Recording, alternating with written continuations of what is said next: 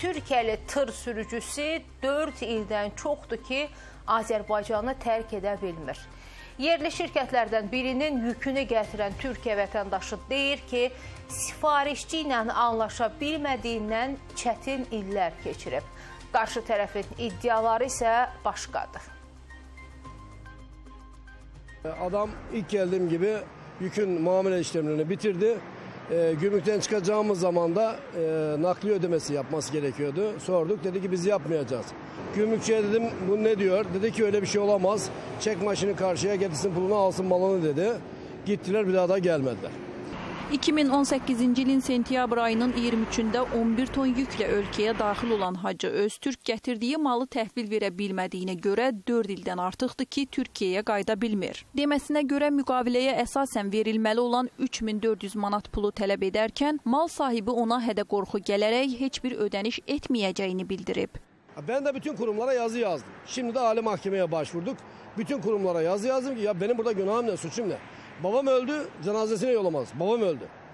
Peki benim suçum ne? Ben buraya yük getirdim. Eksik getirmedim. Yanlış getirmedim. Geç getirmedim. Dövlət Gömrük Komitəsindən ona bildirilib ki, şirkət sahibi yükü təhvil almasa ölkəsinə qayıtması mümkün deyil. Şimdi diyorlar ki bırak git. Yani git. Tamam gidersem şimdi olmayan kanunu uyguluyorsun. Arabalan gelen arabalan çıkacak diye. Gidersem geri beni koymayacaksın. E ben bu arabayı borç harç almışım borcum var. Ben Türkiye'deki adamın yanına gidersem demeyecek mi benim pulumu ver kardeşim?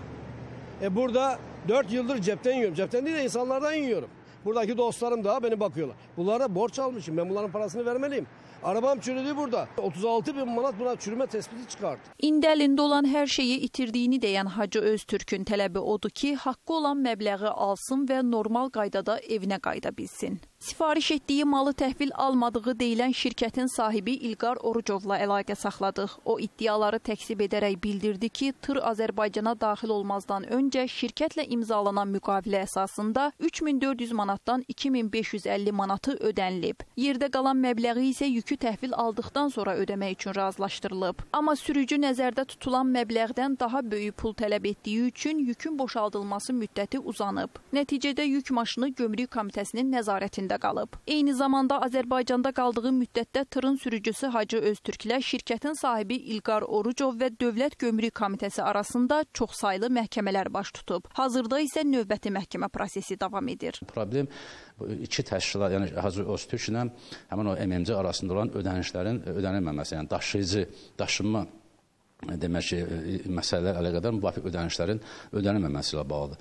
Və buna görə də bu gömrük orqanlarının burada yəni ki, günahlandırmağa heç bir əsas da yoxdur. Mal belə deyək, rəsmiləşib, deklarasiya gömrük bəyannəməsi yazılıb. Sadəcə olaraq Hacı Öztürk mübahisə olduğuna görə pulun ona ödənilməməsinə görə həmin malı boşaltmır.